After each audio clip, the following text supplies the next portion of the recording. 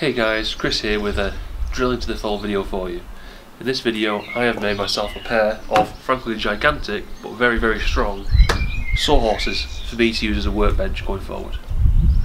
First things first is having a plan. This is a printout of a 3D model that I made in SketchUp. Having the model really helped me with measurements and knowing the purpose of each piece that I cut. So step one, making the legs. First thing was to make the legs as everything is built from them.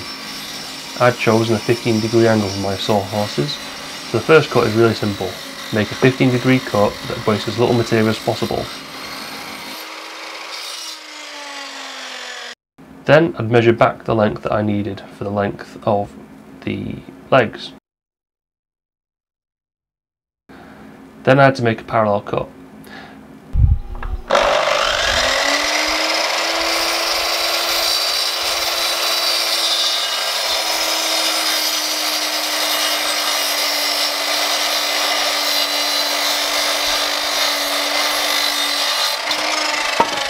From now on, I just use this first leg as a template for the rest.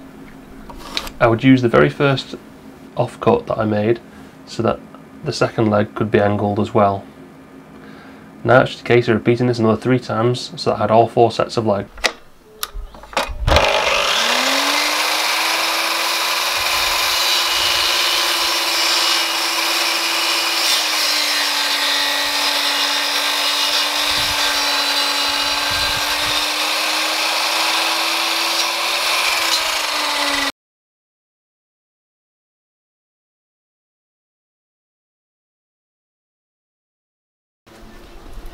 Step 2. Making the top. The 6x2 wood was cut to set the width of the sawhorse. I chose to use a width of 75 centimetres. This was based on the fact that the 6x2 material also came in a 1.5 metre length, so cutting it straight in half was very easy.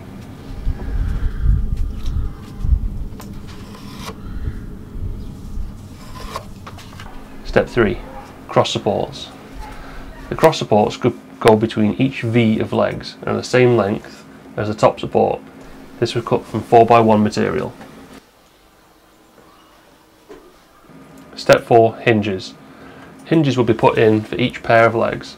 This will allow the sawhorses to collapse and take up much less space while they're in storage. The hinges are placed on the wood, holes marked and then pre-drilled.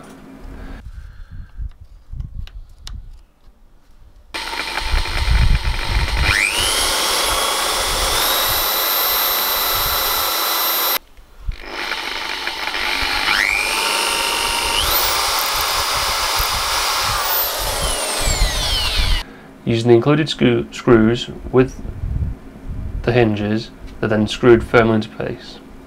The process is repeated for the mating leg.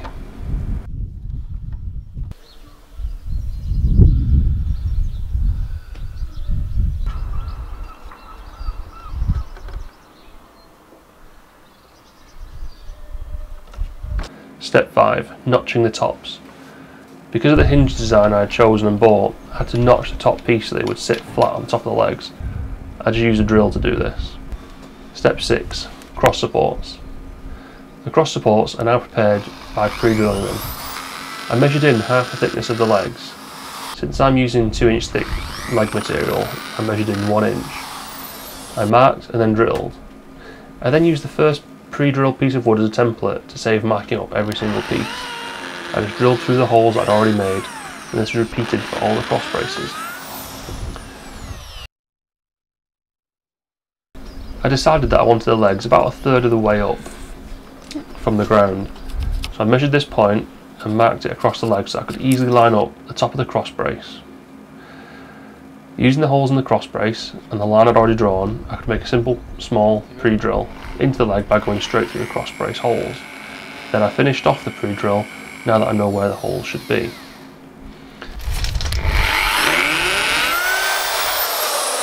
Better.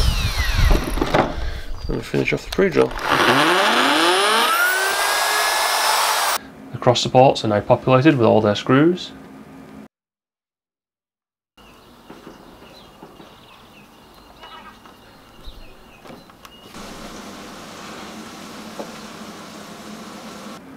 I found it easiest to lay the legs on the on the floor and then screw the cross braces down into them Then I'd secure the other side.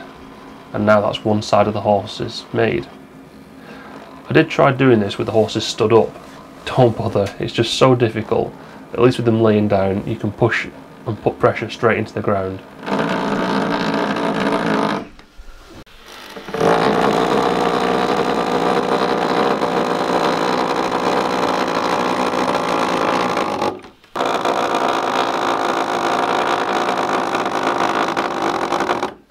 Hey guys, so the last thing we need to do now is secure the top edge onto the top of the sawhorses.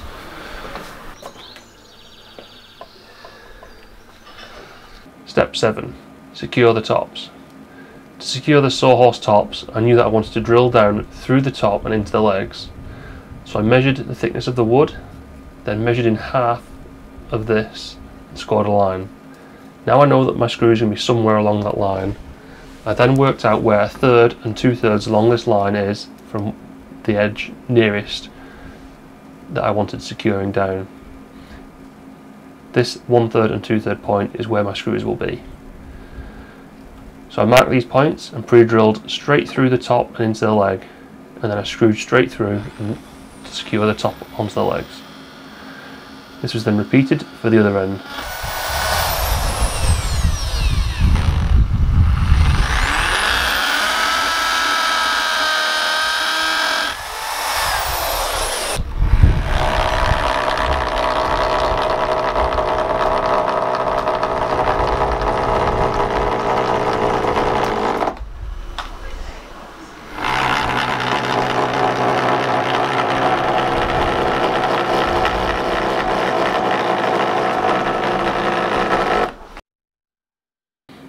Step 8.